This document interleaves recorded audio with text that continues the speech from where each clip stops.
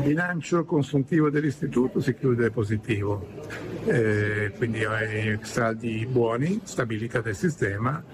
e il patrimonio che cresce.